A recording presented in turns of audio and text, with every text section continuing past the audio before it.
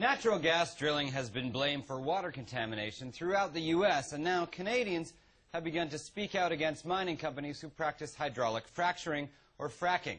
Sheila Hardwood joins us.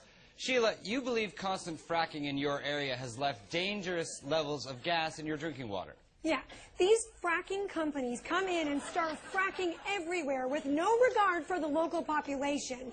My water used to be crystal clear, and now it is completely fracked. Uh, hold on. Um, in the interest of fairness, we have a fracker joining us to address your concerns, Wayne Thomas.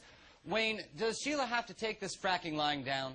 I know it's clear, Sheila, you're simply the victim of a lousy frack. Uh, I can see how that would turn you off the very idea of fracking, but a safe, gentle fracking can be done without you even noticing. That is hard to swallow.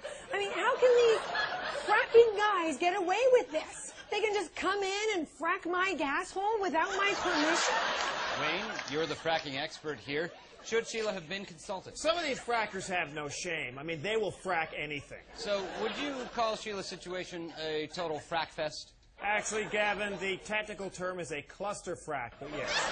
And that's why my water is fracked up beyond all recognition? Look, sloppy fracking always leaves a mess, and then there's the fight over who's going to clean it up. So tell me, Wayne, is there a safer way to frack someone's gas hole? Yes, there are several forms of protection to make fracking safe. Oh, and I suppose it's my responsibility to make sure they use protection. I'll tell you what, Sheila, why don't you stop by one of my wells? I mean, you can just sit and watch me and the guys frack. It, it'll open your eyes, and you might even want to join in, or if not, you could go and frack yourself. I just want clean water, damn it. Uh, hold on, Sheila. I'm going to have to ask you to please watch your language. Oh, sorry. Well, thank you both for joining us and giving us the whole fracking story.